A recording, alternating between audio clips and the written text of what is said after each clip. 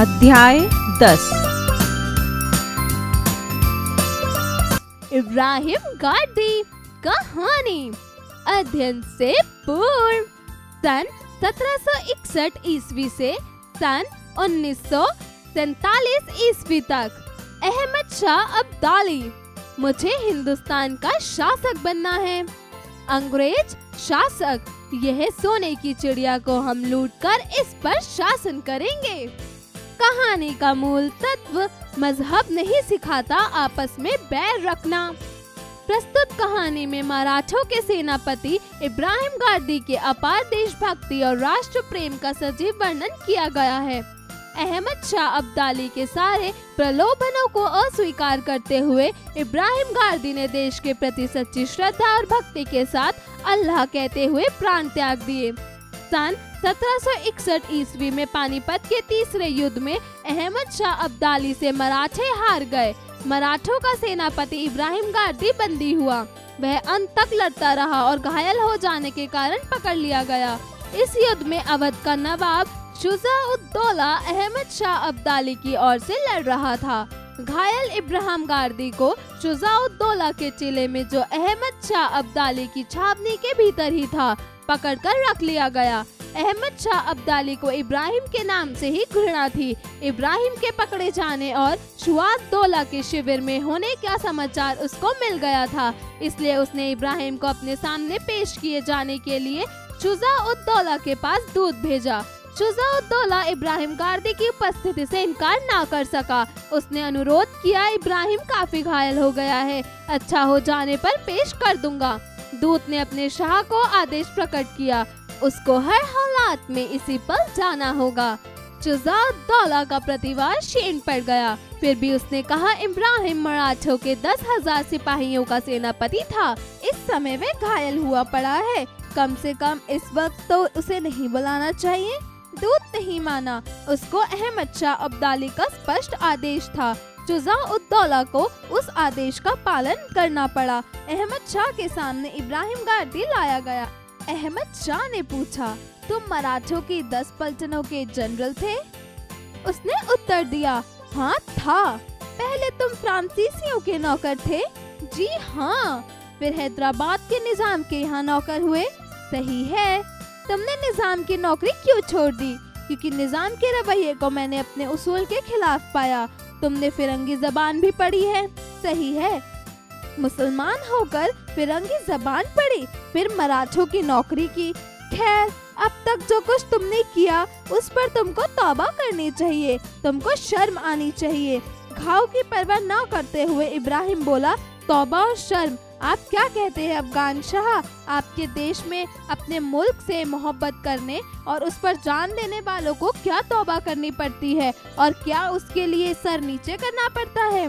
जानते हो तुम इस वक्त किसके सामने हो और किससे बात कर रहे हो? अहमद शाह ने कठोर वाणी में कहा, जानता हूँ, और ना भी जानता होता तो जान जाता, पर यह यकीन है कि आप खुदा के फरिश्ते नहीं हैं। इब्राहिम बोला, इतनी बड़ी फतेह के बाद मैं गुस्से को अपने पास नहीं आने देना चाहता। मुझे ताजुब है, मुसलमान होकर तुमने अपनी ज़िंदगी को इस तरह बिगाड़ा।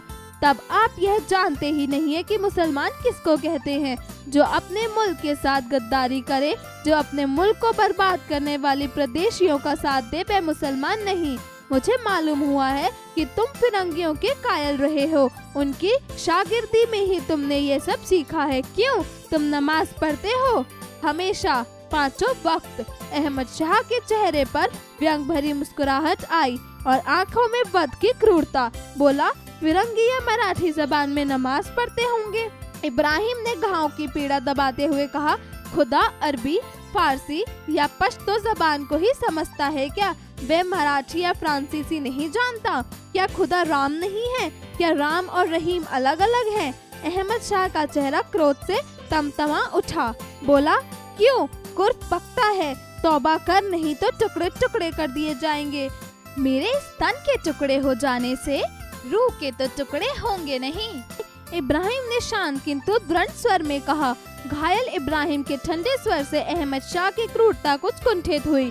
एक क्षण सोचने के बाद बोला अच्छा हम तुमको तौबा करने के लिए वक्त देते हैं। तौबा कर लो तो हम तुम्हें छोड़ देंगे। अपनी फौज में अच्छी नौकरी भी देंगे। तुम फिरंगी तरीके पर कुछ दस्ते तैयार करना।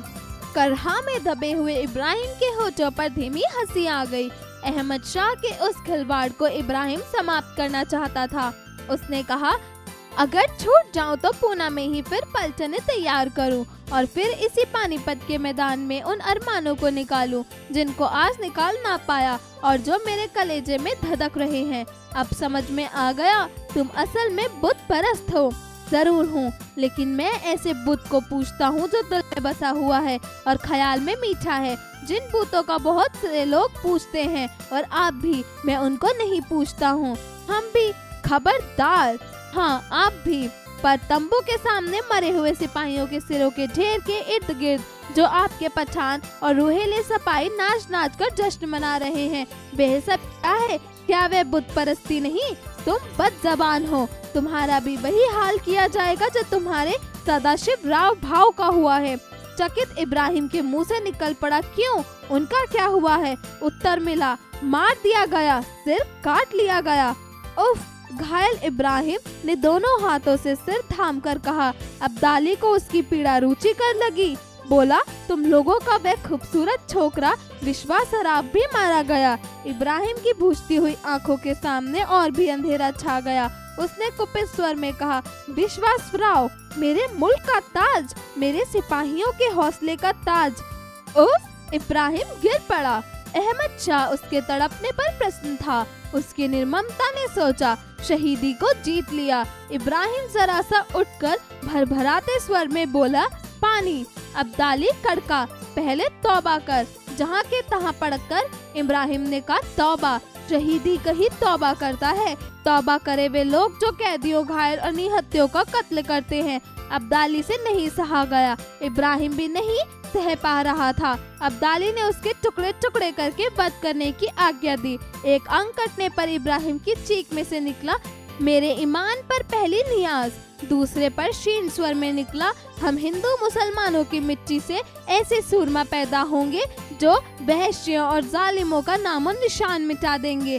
अंत में मराठों के सेनापति इब्राहिम गादी के मुँह से केवल एक शब्द निकला, अल्लाह जिसको फरिश्तों के पंखों और इतिहास के पन्नों ने सावधानी के साथ छिपा लिया।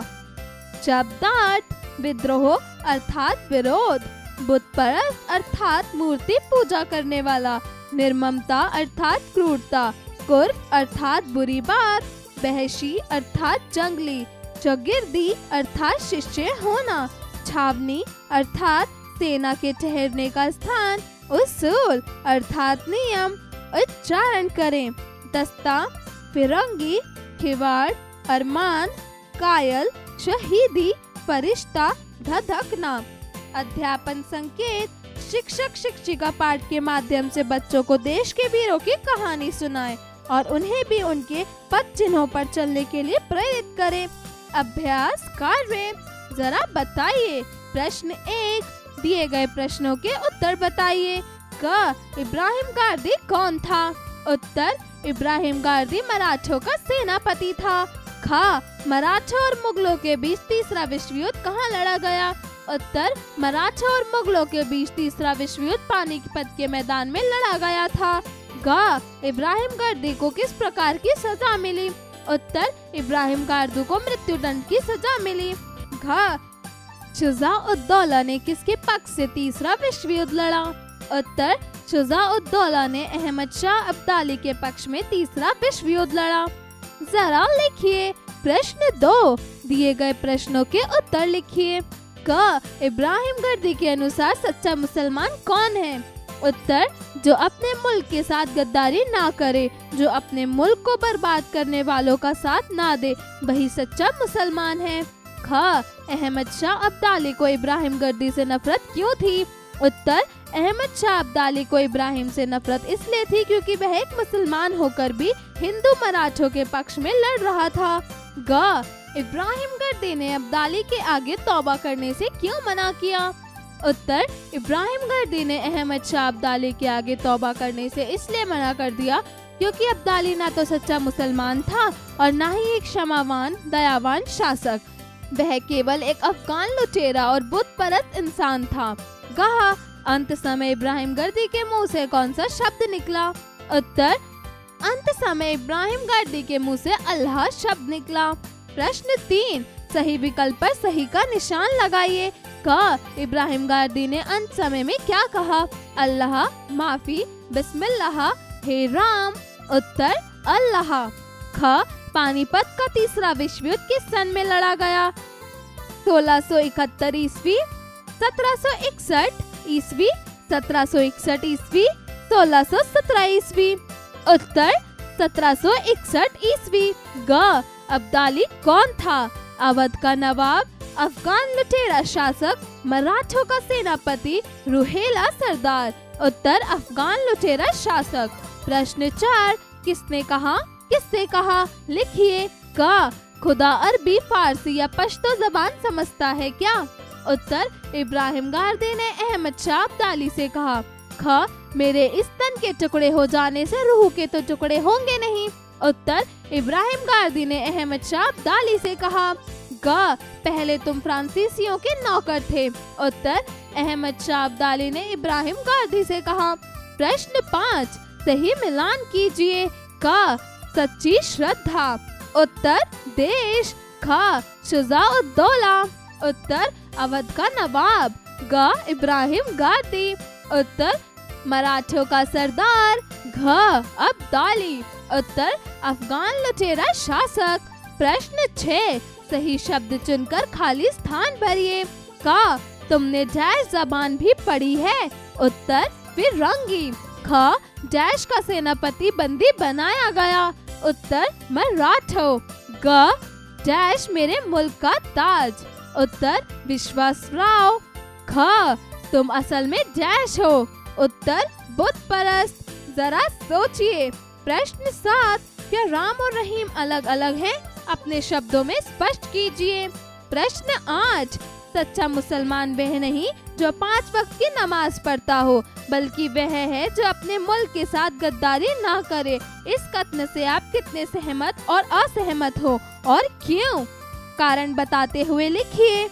जरा भाषा पर गौर कीजिए। प्रश्न नौ दिए गए शब्दों के विलोम शब्द बनाइए। क, क्रोध, उत्तर, शांत। ख, अनुरोध, उत्तर, आदेश। ग, पीड़ा, उत्तर, आराम।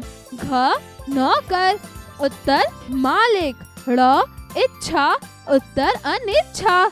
च, घृणा, उत्तर, प्रेम। प्रश्न दस, दिए गए शब्दों के पर्यायवाची शब्द लिखिए। क, प्राण उत्तर, श्वास, ज़िंदगी, जीवन, ख युद्ध उत्तर, संग्राम, रण, लड़ाई, ग बध उत्तर, हत्या, कत्ल, प्रतिघात, घ, पानी, उत्तर, जल, नीर, वारी, प्रश्न ग्यारह, दिए गया कर्मक क्रिया से सकर्मक क्रिया शब्द बनाइए, क, लेटना, उत्तर, लेट, ख टूटना, उत्तर टूट, ग, छूटना, उत्तर छूट। प्रश्न बारह, संज्ञा शब्दों से विशेषण शब्द की रचना कीजिए। क फ्रांस, उत्तर फ्रांसीसी। ख अंत उत्तर अंतिम। ग, धर्म, उत्तर धार्मिक। प्रश्न तेरह, वाक्य में कारक पहचानिए और नाम लिखिए। क शहनशाह ने गरीबों को बहुत सताया। उत्तर ने कर्ता कारक को कर्म कारक ख, अब्दाली ने इब्राहिम गर्दी को बंदी बनाया। उत्तर, ने कर्ता कारक को कर्म कारक ग, तुम पहले निज़ाम के यहाँ नौकर थे। उत्तर, के संबंध कारक घ, मेरे लिए क्या लाए? जरा रचनात्मक कार्य कीजिए। प्रश्न चौदह, यदि आप इब्राहिम गर्दी की जगह होते तो क्या करते? कक्षा में चर्चा कीजिए। प्रश्न पंद्रह, आप अपने देश के लिए क्या क्या करना चाहेंगे? अपने विचार लेख के रूप में प्रस्तुत कीजिए। जीवन कौशल एवं मूल्य परक प्रश्न। प्रश्न 16 राष्ट्र भक्ति, धर्म और जाति से ऊपर है। आप अपने राष्ट्र के प्रति सच्ची श्रद्धा किस प्रकार रखना चाहेंगे?